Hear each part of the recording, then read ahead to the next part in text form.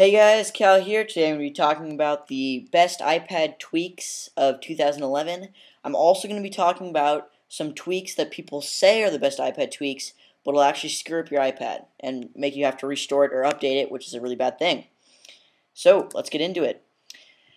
Alright, so up first we have Folder Enhancer, and um, yes, I am using uh, iPhotos slideshow to do this video, so yeah.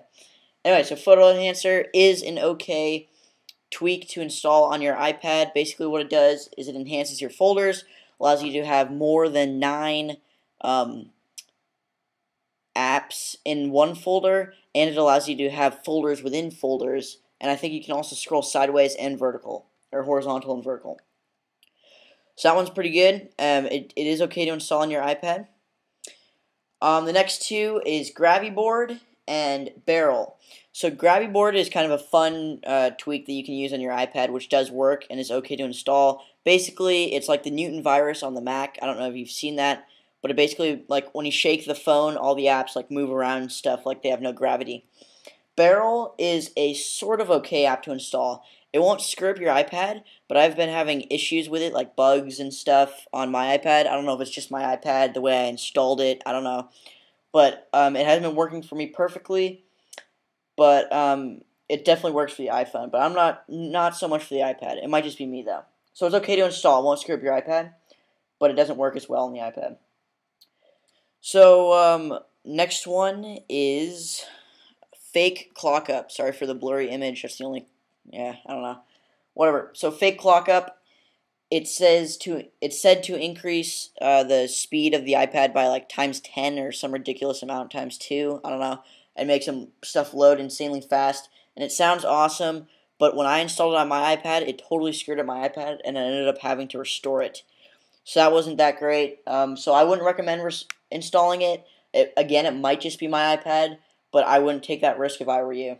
So that is not an okay app to down or tweak to download on your iPad Next up, we have RetinaPad, which is also a not okay tweak to install on your iPad. So what this does is it basically, um, when you open up an app that's made for the iPhone and iPad, you have the option to um, expand it. So it's made for the iPhone, so it starts out with that small screen, but you can hit the times 2 button and make it larger. What RetinaPad is supposed to do is make that larger version have the same quality if it was the smaller version. So when you enlarge it, it actually gets bad, uh, worse quality. So this is another one that screwed up my iPad when I installed it. Again, just might be my iPad, but I wouldn't uh, recommend installing this on your iPad. Did not work for me. Screwed up my iPad. So uh, next up we have Winterboard, and Winterboard is okay to download. Um, nothing wrong with Winterboard. it's kind of standard app or tweak. It's really an app um, on every jailbroken device. Next we have FaceBreak, which is allows you to do three uh, FaceTime over 3G, which is pretty cool. That does work. So yeah, it's okay. That's a pretty cool one. Uh, the next one is Easy Decline. What this does is I don't know if you've noticed, but when you get a call, this is for iPhone. Actually, I don't even know why I have this on here. But anyway, this is for the iPhone, not really the iPad because you can't get calls on the iPad. It might work for FaceTime though. I'm not sure. So when you get a FaceTime call or just a call in general on an iPhone or an iPad, uh, there's no button to decline. It's only slide to un- slide to answer, and there's no decline button. So this adds a decline button. I'm not sure why I put this on here because it doesn't really work for iPad. I think it works. All right, this one this this one is actually made for the iPad, which is really cool. It's called Five Row Keyboard. It is very good for the iPad. Made for the iPad. Works perfectly fine. Basically, what it does is it adds a row to the top of the keyboard and adds the numbers in there, so you don't have to keep hitting the number button on the bottom left-hand side of the screen to type in uh, like your password or something if it involves numbers and letters. So that's really awesome. That's probably one of the better ones that you can get for the iPad. So that's really sweet. Next up, we have Auto 3G and YourTube.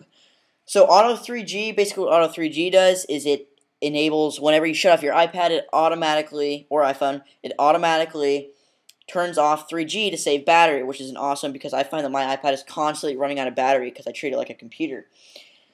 and that uh, cord I always seem to lose, which is kind of annoying. But anyway, so that one's good to that one's okay to install on your iPad. Next is YourTube, and that sort of works. I don't. It might just be me again. It might just be me.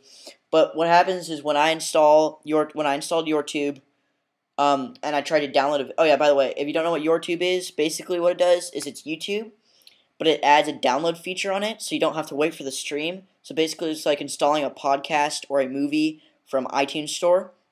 So it lets you download the actual video from YouTube, so you don't have to wait for the little white bar to get halfway across the screen and then start the video, which is pretty sweet. But the problem is, it doesn't work for me always. Again, it might just be me, but it also happened on my iPhone and my iPad. What happens is I try and download something, I download it, I click it to start the video, and then it just exits the YouTube app and goes to my home screen.